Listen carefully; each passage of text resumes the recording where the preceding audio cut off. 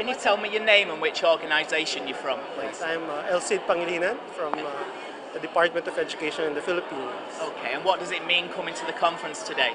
Well, I've learned a lot uh, so far. Uh, I've seen how the education system in the UK has been uh, evolving, and uh, the integration of ICT is something that uh, the Philippine Ministry of Education also uh, one of the priorities. Right, okay. also that, and, and we see that there are a lot of potential for uh, improving teaching and learning using ICT. And you have to engage teachers in order to uh, make them uh, integrate uh, ICT in uh, teaching and learning.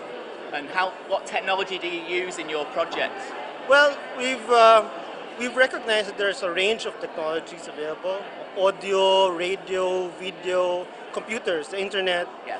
And uh, we have to recognize that you know uh, there are teachers and places where you know you have to have appropriate uh, you know technology. So in some areas you might uh, have a situation where there's no electricity.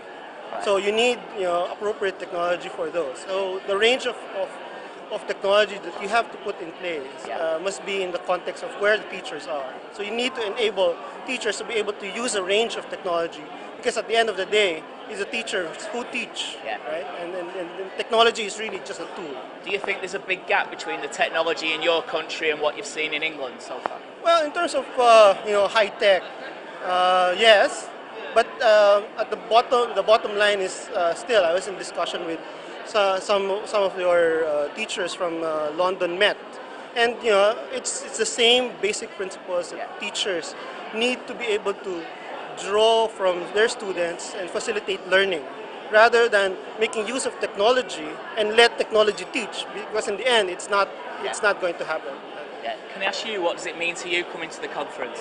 Well, I'm here because I'd like to represent the British companies in the Philippines Yeah. so that we can offer alternative products for the Filipino students. Right, okay. Thanks very much. Thanks for your time. Can I just ask you both a a similar question, just once more? Have you, could you tell me a bit about the forums that you've, you've been to or the workshops or what, what you've been most interested in?